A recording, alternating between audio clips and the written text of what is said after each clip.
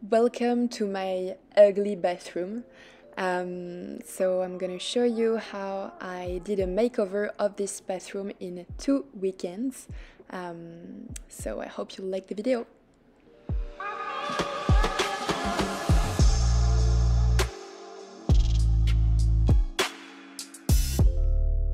So first step was to remove all the wallpaper. So I was lucky, it took me 20 minutes, it was pretty easy.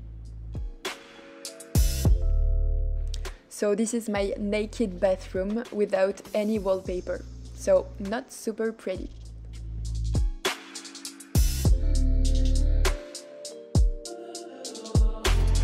Eh, c'est pas grave.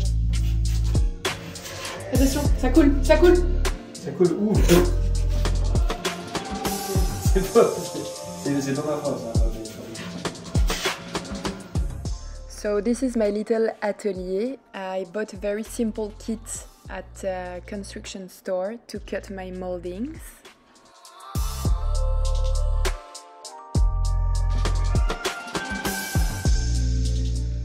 So it took me approximately one half day to cut everything. And the most important step is to do a nice drawing of your walls before starting with all the dimensions.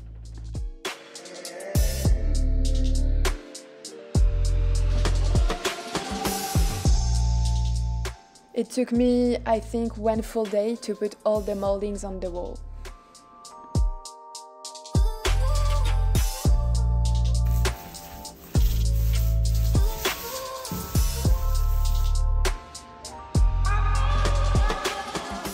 Now let's talk about the fun part. So I received this beautiful prints by Desenio.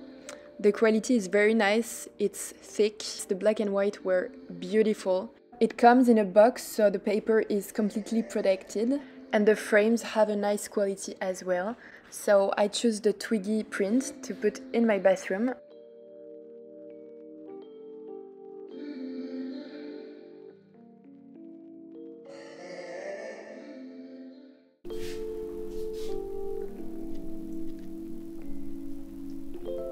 And ta-da! This is the final result. I'm super happy with it and my boyfriend too, so that's perfect.